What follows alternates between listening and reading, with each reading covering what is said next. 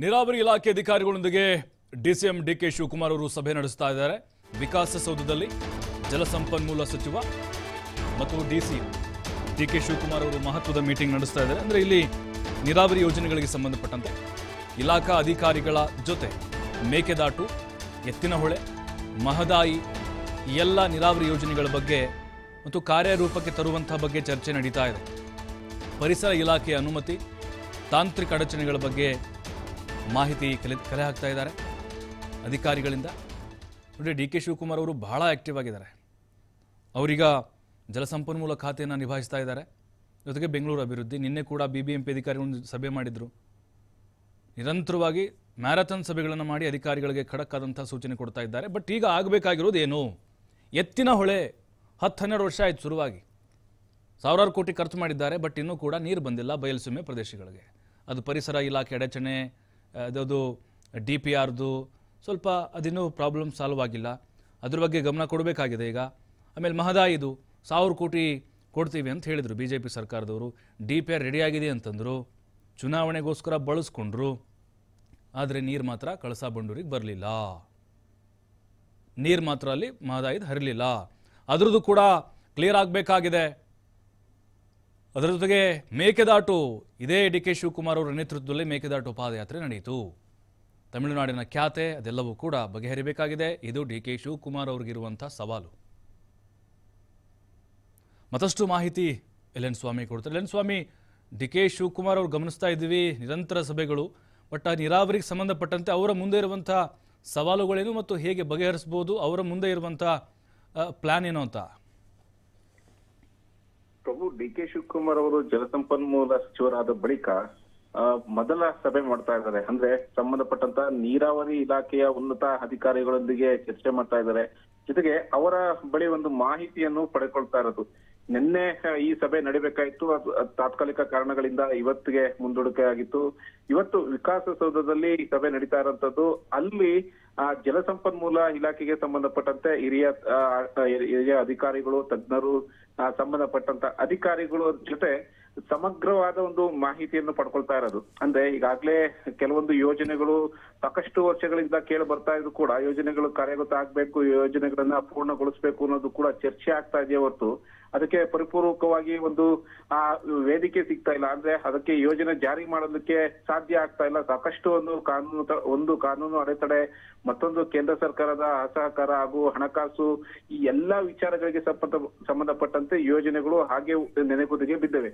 ಆ ಹಿನ್ನೆಲೆಯಲ್ಲಿ ಇವತ್ತು ಅದಕ್ಕೆ ಚುರುಕು ಮುಟ್ಟಿಸಲು ಡಿಸಿಎಂ ಹಾಗೂ ಜಲಸಂಪನ್ಮೂಲ ಸಚಿವರಾದ ಡಿ ಕೆ ಶಿವಕುಮಾರ್ ಸರ್ಕಾರ ಏನು ಅಧಿಕಾರಿಗಳ ಒಂದು ಸಭೆ ಮಾಡ್ತಾ ಇರುವಂತದ್ದು ಅದರಲ್ಲಿ ಪ್ರಮುಖವಾಗಿ ಮೇಕೆದಾಟು ಎತ್ತಿನವಳೆ ಹಾಗೂ ಮಹದಾಯಿ ಯೋಜನೆಗಳಿಗೆ ಸಂಬಂಧಪಟ್ಟಂತೆ ಈಗ ಇರುವ ಒಂದು ನೀರಾವರಿ ಯೋಜನೆಗಳು ಯಾವ ರೀತಿ ಇದೆ. ಜೊತೆ ಯೋಜನೆಯನ್ನ ಯಾವ ರೀತಿ ಒಂದು ಕಾರ್ಯಗತಗೊಳಿಸಬೇಕು ಹಾಗೂ ಅದಕ್ಕೆ ಇರುವಂತಹ ಒಂದು ಕಾರ್ಯಗತಗೊಳಿಸಬೇಕಾದ್ರೆ ಈಗಾಗಲೇ, ಆ, ಕೆಲವೊಂದು ವಿಚಾರಗಳು ಕೂಡ ಕೋರ್ಟ್ನಲ್ಲಿ ಇನ್ನು ಇನ್ನು ವಾದ ವಿವಾದಗಳು ನಡೀತಾ ಇದೆ. ಕೋರ್ಟ್ ಕೋರ್ಟ್ನಲ್ಲಿ ಇತ್ಯರ್ಥ ಆಗದೆ ಹಾಗೆ ಇದೆ. ಅದಕ್ಕೆ ಬೇಕಾದಂತಹ ಒಂದು ಕಾನೂನು ಸಲಹೆಗಳನ್ನ ಯಾವ ರೀತಿ ಪಡೆಯಬೇಕು, ಯಾವ ರೀತಿ ಅದಕ್ಕೆ ಬೇಕಾದಂತಹ ದಾಖಲೆಗಳನ್ನ ಒದಗಿಸ್ಕೊಡ್ಬೇಕು ಸಮರ್ಥವಾಗಿ ನಮ್ಮ ರಾಜ್ಯಕ್ಕೆ ಅನುಕೂಲವಾಗುವಂತ ಯೋಜನೆಗಳನ್ನ ಜಾರಿಗೆ ತರಬೇಕಾದ್ರೆ ಯಾವೆಲ್ಲ ಒಂದು ಕ್ರಮಗಳನ್ನು ತೆಗೆದುಕೊಳ್ಳಲು ಮುಂದಾಗಬೇಕು ಅನ್ನೋ ವಿಚಾರಕ್ಕೆ ಸಂಬಂಧಪಟ್ಟಂತೆ ಹಾಗೂ ಮತ್ತೊಂದು ಅಡೆತಡೆ ಅಂದ್ರೆ ಯೋಜನೆಗಳಿಗೆ ಸಂಬಂಧ ನೀರಾವರಿ ಯೋಜನೆಗಳಿಗೆ ಸಾಕಷ್ಟು ಅಡೆತಡೆ ಆಗ್ತಾ ಇರೋದು ಈ ಅರಣ್ಯ ವಿಚಾರಗಳಿಂದ ಪರಿಸರ ಇಲಾಖೆಯ ಅನುಮತಿ ಸಿಗ್ತಾ ಇಲ್ಲ.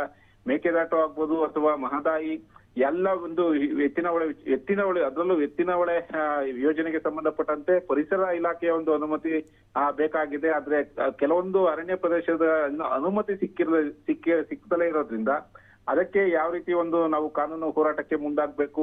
ಈಗಿರುವಂತಹ ಇರುವಂತ ಯೋಜನೆಗಳನ್ನ ಮಾಡ್ಕೊಂಡ ಸಂದರ್ಭದಲ್ಲಿ ಎಷ್ಟು ಅನುಕೂಲ ಆಗಿದೆ ಎಷ್ಟು ಜನರಿಗೆ ಅನುಕೂಲ ಆಗುತ್ತೆ ಎಂಬ ಮಾಹಿತಿ ಸ್ವಾಮಿ ಈಗ ಈ- ಹಿಂದೆ ನೋಡಿದ್ವಿ ಬಿಜೆಪಿ ಸರ್ಕಾರ ಇದ್ದಾಗ ಇದೇ ಕಾಂಗ್ರೆಸ್ನವರು ಅದನ್ನ ರಾಜಕೀಯವಾಗಿ ಯಾವ ರೀತಿ ಆರೋಪವನ್ನು ಮಾಡ್ತಾ ಇದ್ರು.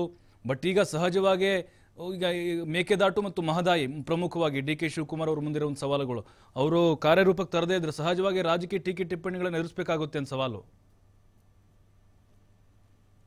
ಖಂಡಿತ ಪ್ರಭು ಈಗಾಗ್ಲೇ ಒಂದು ಕಾಂಗ್ರೆಸ್ ವಿಪಕ್ಷ ಸ್ಥಾನದಲ್ಲಿ ಇರುವಂತ ಸಂದರ್ಭದಲ್ಲಿ ಮೇಕೆದಾಟು ಪಾದಯಾತ್ರೆ ಮಾಡುದು. ಇದು ಒಂದು ಎಲ್ಲೋ ಒಂದ್ ಕಡೆ ಆ ಬೆಂಗಳೂರಿಗೆ ಕುಡಿಯುವ ನೀರಿನ ಯೋಜನೆಗೆ ಸಂಬಂಧಪಟ್ಟಂತೆ ಮೇಕೆದಾಟು ಪಾದಯಾತ್ರೆ ಆ, ಕಾಂಗ್ರೆಸ್ಗೆ ಒಂದ್ ರೀತಿ ವರದಾನ ಆಗಿತ್ತು ನಾವು ಮೇಕೆದಾಟು ಯೋಜನೆಗೆ ಜೊತೆಗೆ ಬೆಂಗಳೂರು ನಗರಕ್ಕೆ ಸಂಬಂಧಪಟ್ಟಂತೆ ನಾವು ಕುಡಿಯುವ ನೀರಿನ ಯೋಜನೆಗೆ ಮುಂದಾಗ್ತೀವಿ. ಈ ಯೋಜನೆಯನ್ನ ಜಾರಿಗೆ ತಂದೇ ತರ್ತೀವಿ. ಅಧಿಕಾರಕ್ಕೆ ಬಂದ್ರೆ ಕೂಡ ಒಂದು ಭರವಸೆಯನ್ನು ಕೊಟ್ಟಿದ್ರು. ಅದಕ್ಕೆ ಸಾಕಷ್ಟು ಒಂದು ಹೋರಾಟ ಮಾಡಿ, ಆ ಈ ಏನು ವಿಪಕ್ಷ ಸ್ಥಾನದಲ್ಲಿದ್ದಂತಹ ಕಾಂಗ್ರೆಸ್ ನಾಯಕರು ಸಾಕಷ್ಟು ಒಂದು ಹೋರಾಟ ಮಾಡಿದ್ರು. ಜೊತೆಗೆ ಡಿ ಕೆ ಶಿವಕುಮಾರ್ ನೇತೃತ್ವದಲ್ಲಿ ಒಂದು ಪಾದಯಾತ್ರೆಯನ್ನು ಕೂಡ ಮಾಡಿ ಯಶಸ್ವಿ ಕೂಡ ಆಗಿದ್ರು.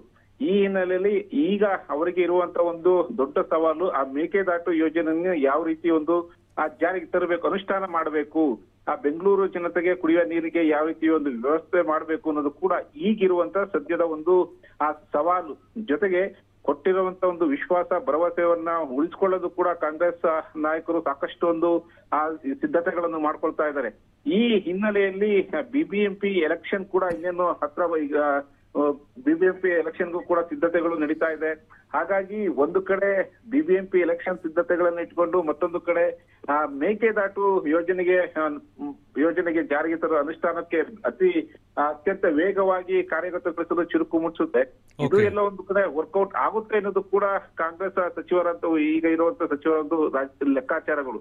ಹಾಗಾಗಿ ಯೋಜನೆಗಳಿಗೆ ಸಂಬಂಧಪಟ್ಟಂತೆ ಸಮಗ್ರ ಮಾಹಿತಿಯನ್ನು ಪಡೆದು ಆದಷ್ಟು ಬೇಗ ಯೋಜನೆಗೆ ಕಾರ್ಯಗತಗೊಳಿಸಬೇಕು ಅನ್ನೋದು ಕೂಡ ಡಿ ಕೆ ಶಿವಕುಮಾರ್ ಅವರ ಒಂದು ಸೂಚನೆ ಆಗಿರೋ ಸೂಚನೆ ಆಗಿದೆ ಪ್ರಭು. ಥ್ಯಾಂಕ್ ಯು ಎಲೆನ್ ಸ್ವಾಮಿ ಮಾಹಿತಿಗಾಗಿ.